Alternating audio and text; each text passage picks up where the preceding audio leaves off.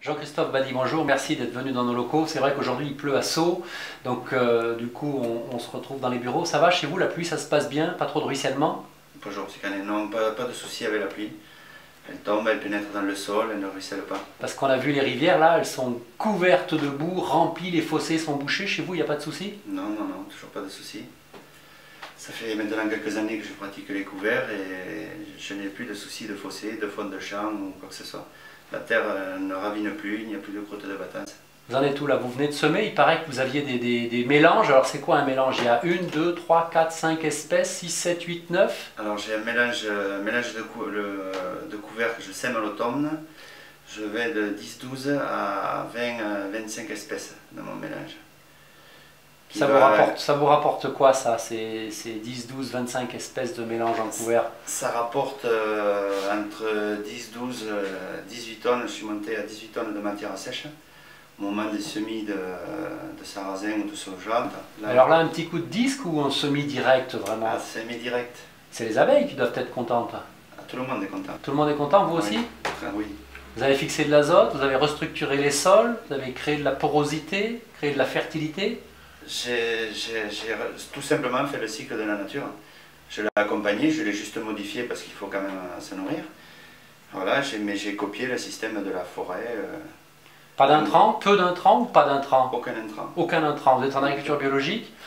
Parlez-nous un peu des, pollinisateurs et des abeilles en particulier. On sait que vous êtes un agroforestier, vous avez planté des haies, vous avez des haies euh, champêtres existantes, naturelles. Il y a un apiculteur chez vous?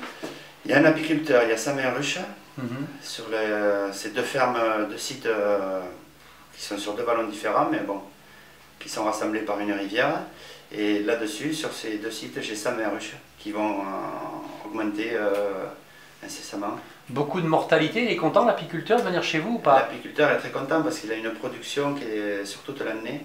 C'est-à-dire il ne vient plus poser les ruches pour chercher le tournesol, le pollen de tournesol ou de colza vu qu'avec mes couverts, j'ai mes premières fleurs qui arrivent euh, dès les premiers redoux, euh, à la sortie de l'hiver, jusqu'aux premières gelées. Les, les, abeilles travaillent euh, pratiquement toute l'année. Il a constaté une augmentation de la production de miel? Le double. Le double? Il a doublé. Répétez-nous ça. Doubler la, production de miel. Ça veut dire qu'il nourrit correctement ses abeilles toute l'année avec nectar, miela, pollen et autres propolis. Mais en plus de ça, il produit beaucoup plus de miel. Oui, le double c'est difficile de faire des couverts végétaux, c'est ce qu'on entend en argilo-calcaire, dans, dans, le sud-ouest, enfin bon, c'est vrai que nous on est toujours à même de répondre que les arbres continuent de pousser l'été, donc vous avez, vous avez trouvé ça finalement, vous avez, là aussi vous avez sorti cette idée reçue que dès qu'il fait un peu sec... Ben, c'est-à-dire on, le fait avec le temps, tout simplement, euh, c'est que l'été, euh, partout c'est sec, euh, l'été on peut semer, ça va pas pousser. Donc une petite réflexion, si on sème au printemps, il y a de l'eau encore, on sème au printemps, on met en place, et après, on ne sème qu'à l'automne, quand les premières pluies reviennent. Donc on sème dans une culture vivante éventuellement? Dans un trèfle vivant, dans une luzerne vivante, euh, dans, euh, le, le, couvert qui aura passé l'été et qui aura protégé le sol. Le but, il est là, c'est de protéger le sol. Ça veut dire que là, vous moissonnez et les couverts se remettent à pousser puisqu'ils sont, déjà installés. Et quelques, quelques semaines après euh, la moisson, vous avez à nouveau des fleurs, vous avez à nouveau une quantité de, végétation. le, trèfle qui est en fleurs, commence à être en fleurs. Après, je fais des mélanges de différentes variétés de trèfle. Il y a du trèfle, trèfle blanc, trèfle d'Alexandrie. Il, y a tout un panel de, graines qu'on peut avoir. Euh, et, faire travailler le sol en permanence. Oui, parce que laisser, laisser se reposer le sol, c'est une belle connerie. C'est une et, et, et, ça fait crever les abeilles. Et je crois qu'il faut le dire, que les abeilles, comme les vers de terre, comme toute la chaîne et toutes les chaînes de toute cette biodiversité animale et végétale, a besoin de manger toute l'année. C'est un peu ça. Oui, et nous avons besoin des abeilles. Et nous avons besoin des abeilles. Surtout. Il y a des vers de terre chez vous? Il y en a, oui. Il y en a beaucoup Il y en a quelques-uns. Ils vont bien Ils sont en forme? Ça va, oui. Là, l'autre jour, je regardais mes, semences, mes semis de soja.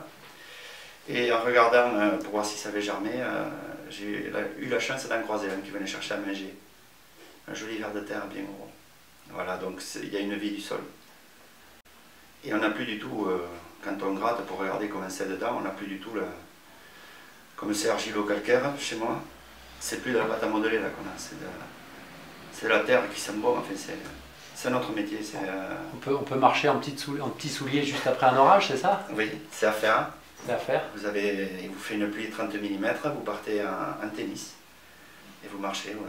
Vous n'avez plus d'argile sous les pieds, Avec ou sans les raquettes? Sans les raquettes. Sans les raquettes. Et euh, il y a une, une étude dit que activité biologique du sol forte rimerait avec euh, nectar de qualité. Donc c'est quelque chose qu'il faudrait qu'on vérifie, qu'on vérifie ensemble. Euh, mais ça veut dire que vous avez des vers de terre, vous avez cette activité biologique, cette fertilité, cette fertilité retrouvée. Et, des pollinisateurs, ça veut dire une agriculture heureuse, un agriculteur heureux, content, content. Il y a une prise de risque ou, ou vous, la mesurez bien cette prise de risque? La- Elle est mesurée, je pense. Elle est mesurée parce que euh, n'invente rien. Les ancêtres faisaient comme ça. Et euh, on fait juste que le reproduire à notre échelle. Voilà, c'est euh, l'agriculteur moderne, il n'y a pas longtemps qu'il est là. Il a fait beaucoup de dégâts, donc il faut peut-être se tourner sur des choses beaucoup plus douces et qui pérennisent, le milieu. D'accord, ça veut dire qu'on non seulement on pérennise le milieu, on a de l'eau de qualité, des paysages, de la biodiversité, de la faune sauvage. On croit pouvoir dire que cette agriculture est microclimatique, elle va, qu'elle va participer à stocker durablement du carbone. Et puis au final, ce qui nous intéresse là tout de suite, c'est qu'on va même renforcer ou créer des emplois, puisque les apiculteurs vont pouvoir revenir sans être obligés de transhumer dans tous les sens Ah pour produire une matière de qualité et- en quantité nécessaire et suffisante. Mais même, euh, même au niveau des, euh, de ma production, enfin, qui, qui pratique les couverts, on se rend compte qu'on sort des produits, ça n'a plus rien à voir. Point de vue qualité, euh, on a des états sanitaires sur des plantes qui sont impressionnantes. On n'est plus du tout dans le même raisonnement. Donc de la diversité, de la biodiversité à tous les étages, et, et donc euh, la biodiversité comme moteur euh, de la production agricole, c'est ça? Tout à fait ça. Tout à fait ça. Et puis c'est surtout que ça, c'est durable. Ça, on pourra, ce système-là, on peut le, le pratiquer pendant des, des décennies et des, des centaines d'années. Il ne fera pas mal, au contraire, il va recharger les sols. Bon, et si les grands patrons et patronnes de l'apiculture française et européenne veulent venir vous voir, il n'y a pas de problème, vous êtes ouvert alors à ouvrir vos portes Il n'y a pas de souci, les abeilles viennent avec grand plaisir. Donc euh, c'est ouvert à, à toutes les personnes qui s'intéressent. Jean-Christophe Badi, merci beaucoup. Merci beaucoup.